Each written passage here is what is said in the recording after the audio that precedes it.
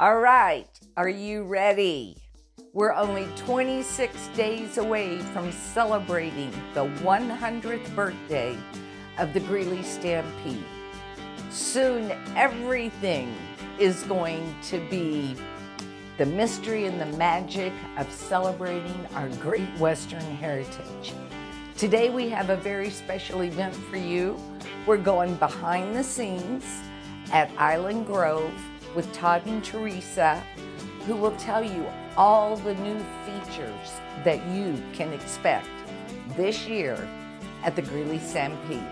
So hang in and come visit with Todd and Teresa.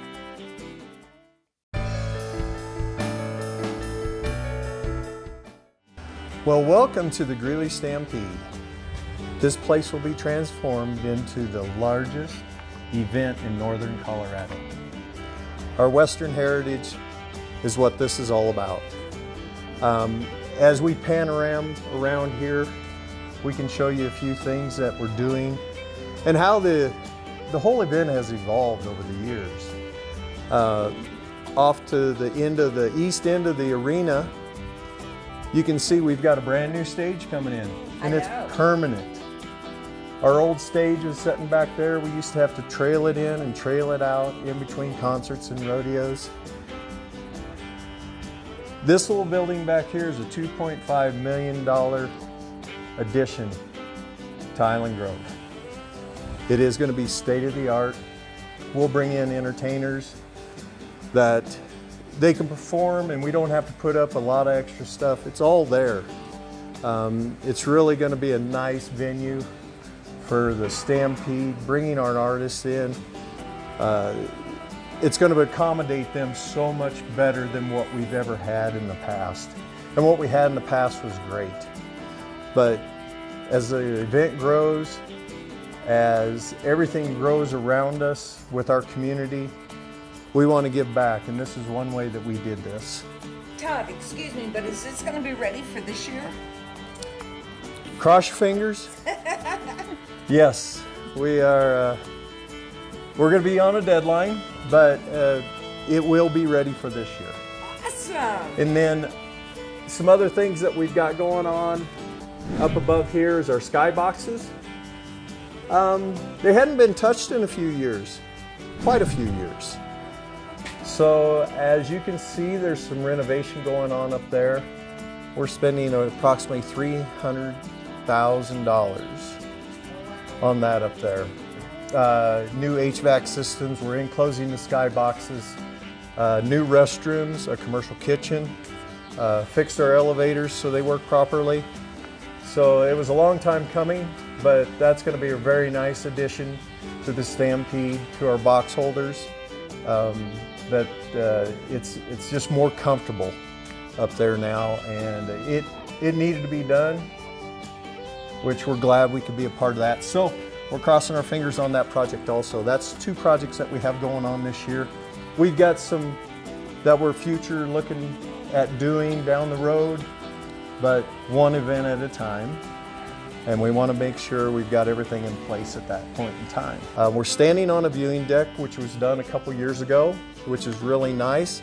If we look around here to the back side, we've got our rodeo pins, which were all redesigned a couple years ago. And those were put in mainly for the safety of the animals, uh, which are athletes that are brought in for the rodeos, also for our contestants and the public. So the viewing's a lot better uh, it's a lot safer environment uh, than it was years ago. But so that's another thing that we've done here in the last few years to help improve what we've, where we're at and what we've done to get here. So Todd, it's almost rodeo time. Yep. This rodeo has grown to a national attention. Tell me what it takes to bring big name I mean, we're just a little town of Greeley. So, what is it taking to get these big name rodeo dudes here? Cowboys. Yeah. yeah, there you go. Yeah. I want a cowboy. You know, that's a great question. The uh, the Greeley Stampede is in the top 25 rodeos in the nation. I didn't know that. Yes. Uh, which that didn't happen overnight. Yeah. We've worked hard. We've had a lot of past committee uh, rodeo chairmen that have put a lot of work into that. Our current chairman, Sean Mills, uh, is ex-rodeo. He rodeoed for 25 years. And he's put his heart and soul into building this to where it is today. Plus our past chairmen have done the same thing. Uh, every contestant has to be part of the PRCA. Oh. Okay, they just can't ride in here and hey, I want to do it. No, you've got to register through the PRCA to be a part of this event. And we leave a few spots open for our local cowboys and cowgirls that want to be participate. But being a top 25 rodeo and paying the money that we do to our contestants for winning adds to the pot, adds to that final goal of theirs, which is Vegas. Right The. National Rodeo Finals in Vegas.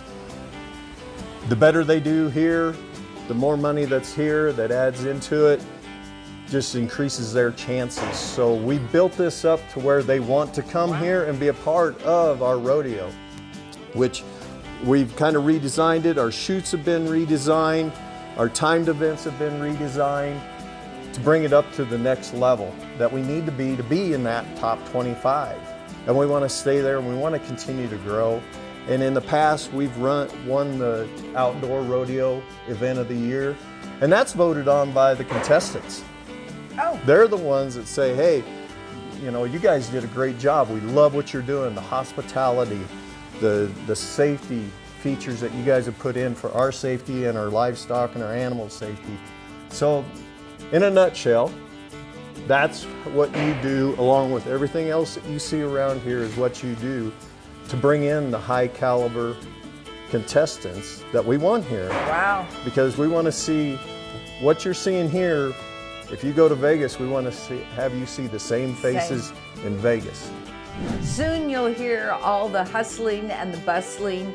You'll see the kids' faces painted up, running up and down the carnival islands. Everything will be lit up. There's just magic in the air. So I hope that everybody is as excited about June 23rd, the Greeley Stampede, as we are.